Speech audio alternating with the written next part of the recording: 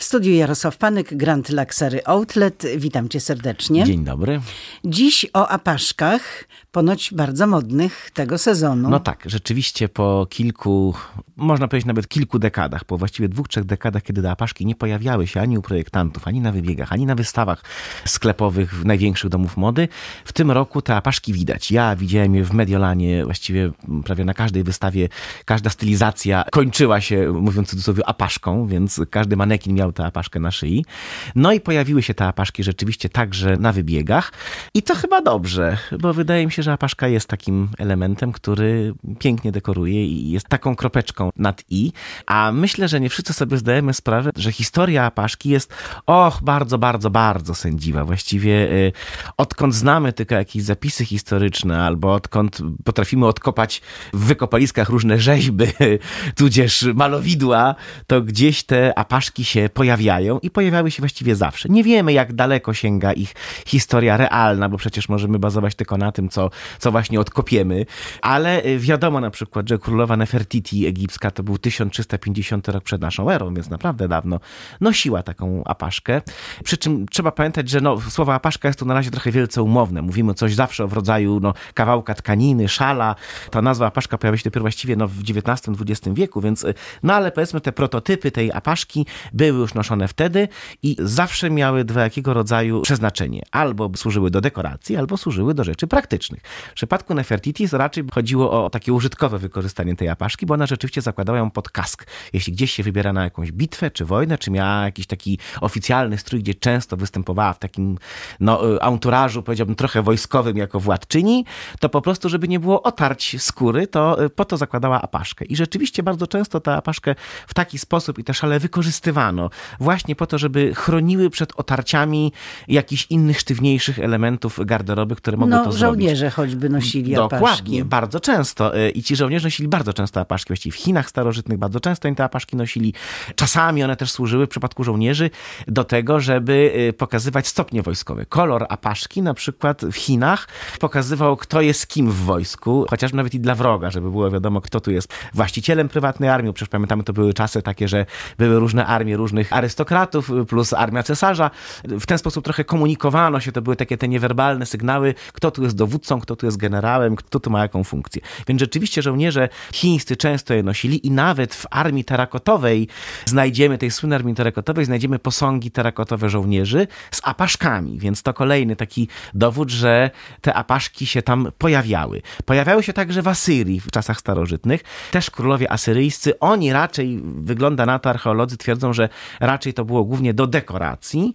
No i pojawiały się oczywiście w starożytnym Rzymie. W starożytnym Rzymie apaszki miały y, głównie y, takie zadanie użytkowe, nazywane je sudariami. Niekoniecznie noszono na szyi, bo też y, w ogóle noszenie apaszek na szyi to jest rzecz nowa.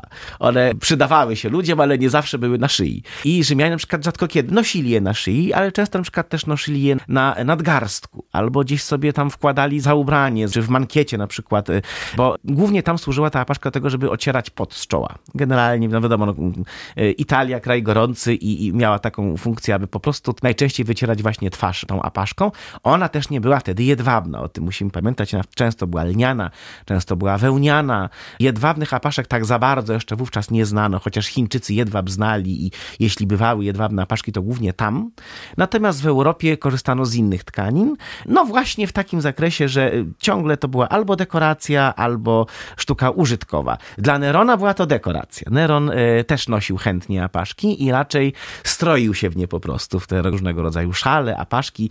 Też bardzo to lubił. No i w jego przypadku rzeczywiście był to głównie walor dekoracyjny. Y, o walorze dekoracyjnym możemy także mówić, kiedy już przechodzimy do czasów średniowiecza. Niektórzy może pamiętają czasami filmy kostiumowe, kiedy to średniowieczne damy, zwłaszcza te wysoko urodzone, a nawet i królowe, i księżne, miały takie stożkowate czapki na głowie, takie bardzo wysokie stożki i z czubka tego stożka tam się właśnie przytraczało taką apaszkę, no i ona Powiewała. powiewała, tak. No więc taką miała funkcję, aby powiewać i dekorować.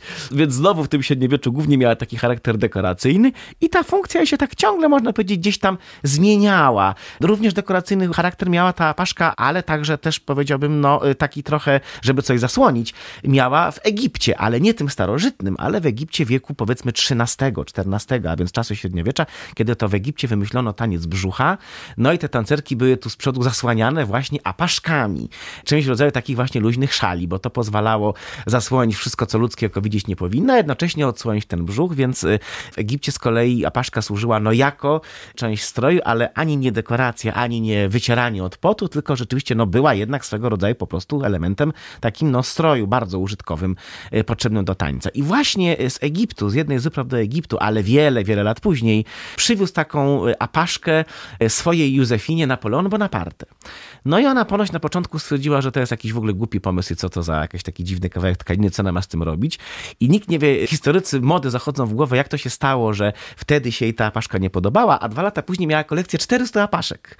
Była pierwszą, która kolekcjonowała te apaszki w takiej ilości. No i rzeczywiście e, kolejne władczynie odkrywały te apaszki. I królowa Wiktoria w Wielkiej Brytanii miała całą kolekcję apaszek i się w nich lubowała. I władcy europejscy, i artyści. Właściwie z apaszką, tu też takim troszeczkę większym szalem, bo tak jak mówię, my cały czas, no, miejmy na względzie, że to słowo apaszka jest tutaj takie troszeczkę bardziej y, pojemne.